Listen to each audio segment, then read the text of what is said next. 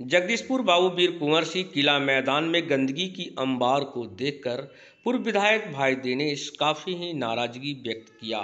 उन्होंने कहा कि सफ़ाई पर प्रतिवर्ष करोड़ों रुपये नगर पंचायत के द्वारा खर्च किया जाता है, लेकिन उसके बावजूद भी बाबू वीर कुंवर सिंह किला मैदान में गंदगी की अंबार लगी हुई है।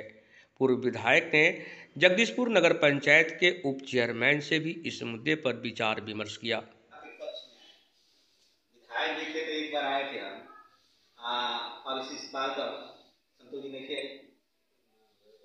दो काम कर दिया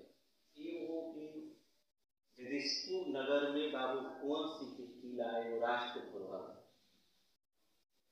आई पूरा तरह से हमारे सुबह घूमी हम एक साल पहले भी आए एक साल पहले भी कुछ हल्का सफ़ाई है एक साल के बाद आज हम देखेंगे सुबह में टहलते हुए।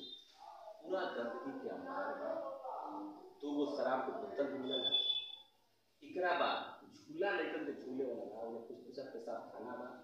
आप कभी देखिएगा वहाँ जा करके मेन गेट से लेकर लास्ट गेट। एकरा बाद जहाँ किला मैदान जो किला बा ऊपर पानी इतना गिरता हमारा लागत है कि हम दस मिनट में हमारा बुझा है कि कम से कम पचास लीटर गिरल पानी।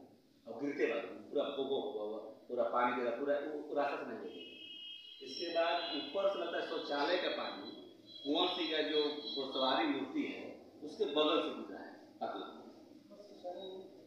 पेशाब खाना होता है, उनको लहता है पेशाब करता है उसको आप देखिए बहुत उसका वीडियो भी हम दिवा तो उसको एक बार आप कितना कर्मचारी रखे हैं पुलिस को कौन कौन सफ़ाई कर्मी है? वहाँ सफ़ाई कम से कम किला मैदान उसका सफ़ाई का नियत रोज होना चाहिए तो बड़ा है कि अगर नहीं है तो एक दो आदमी स्टाफ बढ़ा दें लेकिन वो मैंने कोई अगर बाहर से आएगा, आप भी आके जाके देखिएगा तो आपको भी खराब लगेगा। बाहर के लोग आएगा, कितना खराब लगेगा, आप सोचो सो ना वहाँ पर कोई गार्ड है देखने वाला।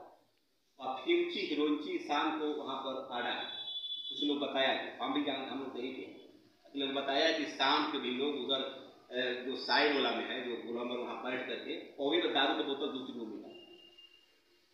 लोग उसको से गंदे में पान से लेकर तिरंगा या जितना पतल सत्तर जितना बा लागत कि एक महीने से सफ़ाई रखने की कम से कम ठीक है जो घूमने आएगा तो फेंकेगा खा लिया फेंक दिया। अभी हमारा काम है कि कुछ सफ़ाई होकर रखना चाहिए।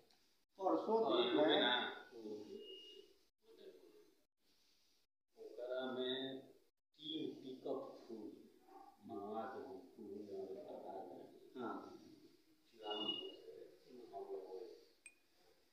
பதினாறு பேர் தெரியும் பண்ண முடியாது நீங்கள் ஒன்றும் வரணும்